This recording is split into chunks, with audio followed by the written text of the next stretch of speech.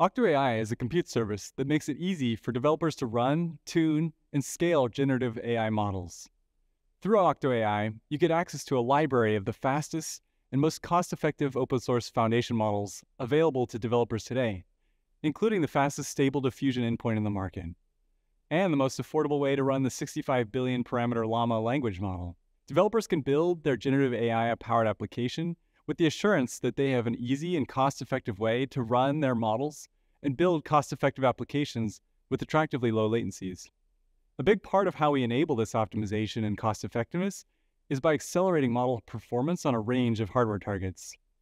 This has been especially important as developers deal with the scarcity of the powerful A100 GPU and look for alternatives to run popular models with the latencies that their users require. Early customers we've been working with have been eager to add AWS Inferentia 2 as a hardware target and to understand the price performance advantages Inferentia can deliver for their models.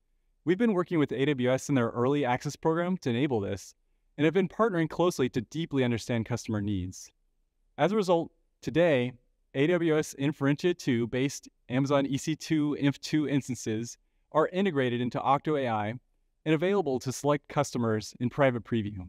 Using Inf2 instances, we've been able to build and test optimizations for stable diffusion that unlock additional levels of price performance for customers. And customers have been excited with the performance results from these early tests. We continue to work with AWS to accelerate other generative AI models on Inf2 instances. And building on Inf2, we believe we can unlock future waves of new developers and new applications building on generative AI and get closer to a time when any developer can easily and cost effectively build on generative AI models. This is the future Octo AI is built around, and we're excited to be partnering with AWS as we work towards making this a reality.